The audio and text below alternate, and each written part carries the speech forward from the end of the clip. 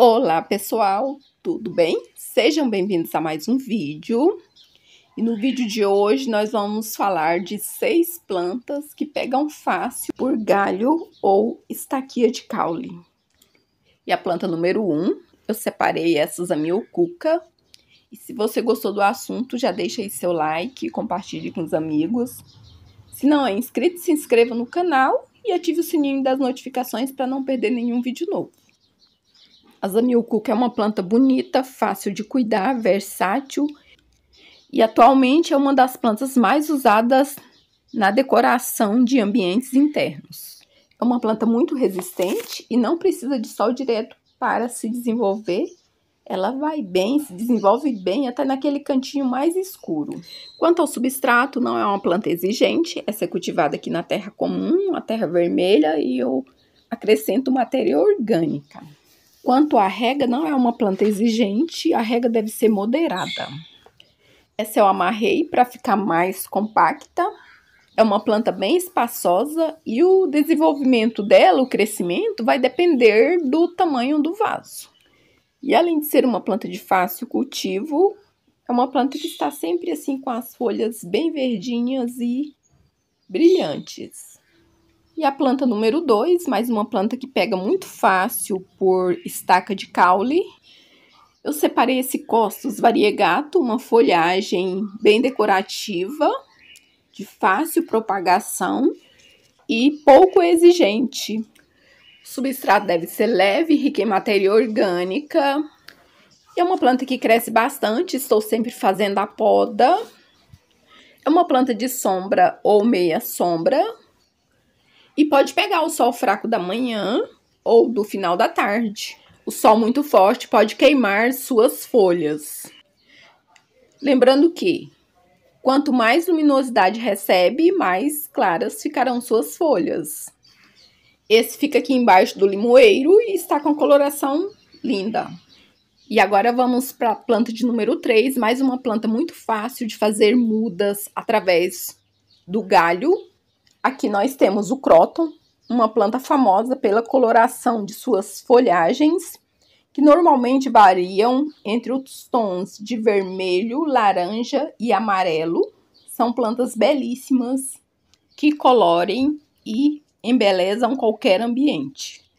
É uma folhagem bem versátil, indicada tanto para vasos quanto canteiros, seja ambientes internos ou externos, uma planta muito resistente, fácil de cultivar e exige poucos cuidados com a rega.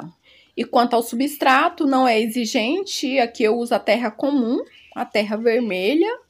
Acrescento matéria orgânica, você pode acrescentar o esterco de curral, um de minhoca, folhas secas. O cróton aceita bem ser cultivado em pequeno vaso, os meus são cultivados em pequenos vasos. E é isso, gente, uma planta linda, bem colorida e de baixa manutenção.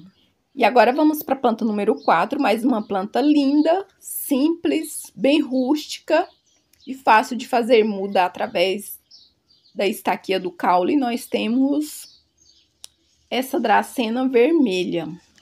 A dracena vermelha aprecia o sol pleno ou meia sombra. Substrato deve ser fértil e rico em matéria orgânica. É uma folhagem simples, porém se destaca pela coloração de suas folhas. Eu tenho bastante dessa dracena por aqui. Essa é uma planta de resgate, encontrei vários galhos jogados na rua. E aqui eu tenho uma outra que está bem colorida. Olha a coloração. E quem me acompanha com certeza lembra quando eu fiz o resgate dessa dracena. Coloquei as estacas aqui em vasos junto com outras plantas e todas brotaram, estão maravilhosas. Quanto ao substrato, o ideal é que você mantenha o substrato úmido, não encharcado. O encharcamento pode causar o apodrecimento das raízes. E para manter as folhas bonitas, naqueles dias de mais calor, você pode borrifar água em suas folhas. E é isso, gente. É uma planta bem tranquila, fácil de fazer mudas, bem resistente ao frio. Portanto, uma planta ótima para você que está iniciando no cultivo.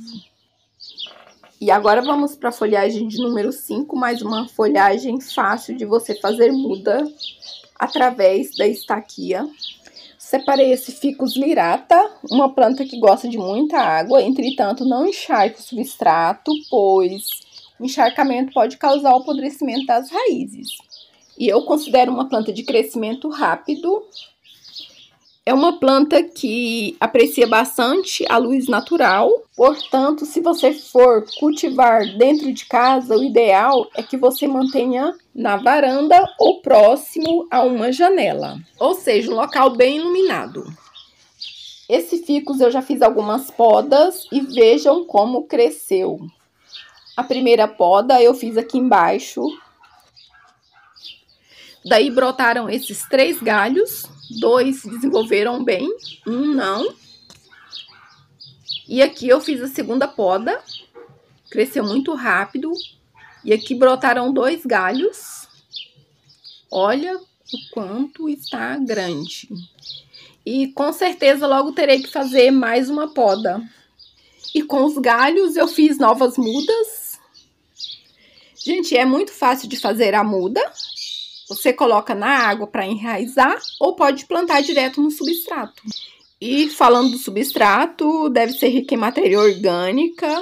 Quanto à adubação, não é uma planta exigente, mas precisando, você pode fazer adubação a cada dois meses. O adubo, você pode usar o adubo de sua preferência. Normalmente, eu uso o adubo orgânico. Normalmente, é o esterco de curral, a torta de mamona com farinha de osso, humus de minhoca e uma ótima opção também é o bocashi, que é um adubo orgânico de liberação lenta. E agora vamos para a planta de número 6, mais uma folhagem linda que você pode fazer muda através da estaquia. Nós temos a árvore da felicidade variegata. Essa também é uma folhagem simples, pouco exigente, gosta de uma boa luminosidade, podendo pegar o sol fraco da manhã ou do finalzinho da tarde. Essa também é uma planta que eu considero de crescimento rápido e cresce muito. Essa é cultivada em uma lata de leite. Essa eu adquiri um galinho bem pequeno. Até achei que não ia enraizar. Coloquei aqui na lata. E olha o quanto cresceu. E falando do enraizamento, pode ser feito na água ou diretamente no substrato. Eu gosto de fazer no substrato. E é isso, gente. Essa é mais uma planta fácil de fazer muda por estaca, uma planta simples, de fácil cultivo e muito decorativa. E eu espero que você tenha gostado das dicas. Se você gostou, deixa aí seu like, compartilhe com os amigos. Se não é inscrito, se inscreva no canal, ative o sininho das notificações para não perder nenhum vídeo novo. Nos acompanhe lá no Instagram. E muito obrigada a você que me acompanhou até aqui. Fique com Deus e até o próximo vídeo.